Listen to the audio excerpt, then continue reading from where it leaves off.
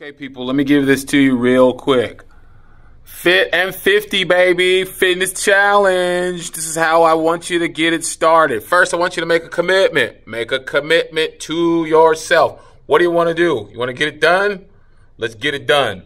Hey, commit to the community. We're here for accountability. We'll help you stay on task and know your goal. Knowing the goal allows you to focus on the steps and that allows you to know that the steps is where you find the joy because the joy is in the journey.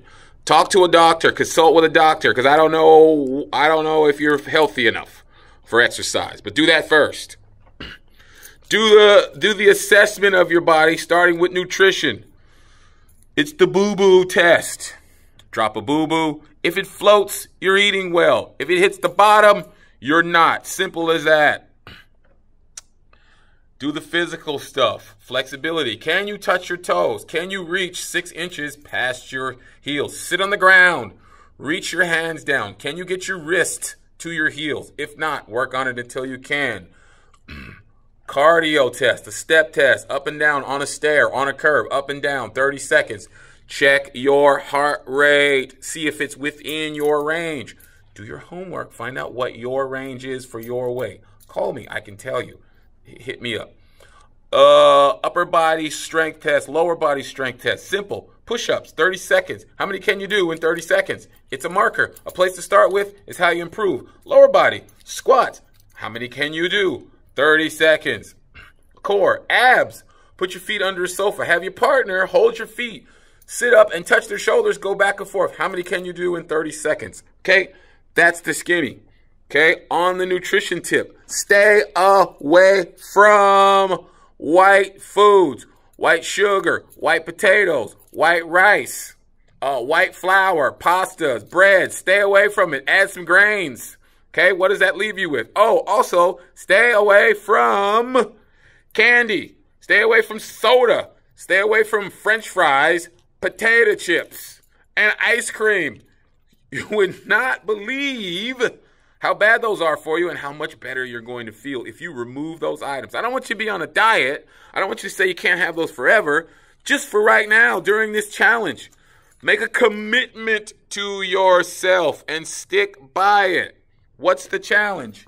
It's dirty 100s. Yes, dirty 100s. 100 push ups, 100 squats, and one glass of water before every meal.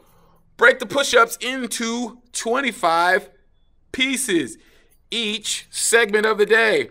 In the morning, 25 push ups. For lunch, 25 push ups. Before dinner, 25 push ups. After dinner, 25 push ups, right? Along with that glass of water. Do the squats, do the push ups. That's 100. They should take you 30 seconds each. That's one minute every three hours in which you should be eating every three hours. Maybe four, five times a day. So you can break the push ups up even more. You can find a way to get it done. Ideally, I'd like for you to warm up, especially in the morning. Run, skip, ride, walk, dance. You don't have to do all that. You just have to do the challenge. But some of you who are a little further, five minutes. It takes your body six minutes to get into the fat burning, uh, into the fat burning, uh, into the fat burning uh, rhythm. You have three energy systems, and the system that's fat burning doesn't come until after five or six minutes. So you need to move for five minutes. If you can't move or run or walk or dance for five minutes, start with one minute and then build up. Add 15 seconds a day until you get there. It's a great way. Dynamic or static stretch is fine with me. I'll show you some ways to do that. Core. Um, it, it's doing the abs. Knees up, lower abs, shoulders down, upper abs. Rotate your torso, transverse abs and obliques. Um, hyper extending your back. That's posterior chain, lower back and glutes. It's going to help you repair all the things. We got our strength uh, with our upper body. We got our lower body.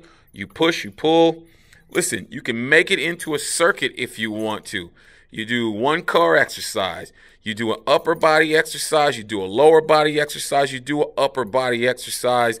And then you do a movement for 30 seconds. Each one of those exercises, upper 30 seconds, lower 30 seconds, uh, core exercise 30 seconds and then you go do jumping jacks for 30 seconds or you run for 30 seconds or you you skip for 30 seconds that's two minutes worth of work and then you're going to repeat that four times that's how you go into the gym and do it as a circuit workout listen that's all i'm going to give you right now i know it's a lot i know it's i know it's a, a bit much but uh, trust me it'll work and so roll with your boy because we're snapping the picture. Hope you're going to be in the picture. Hope you got all this. Hope you can use this.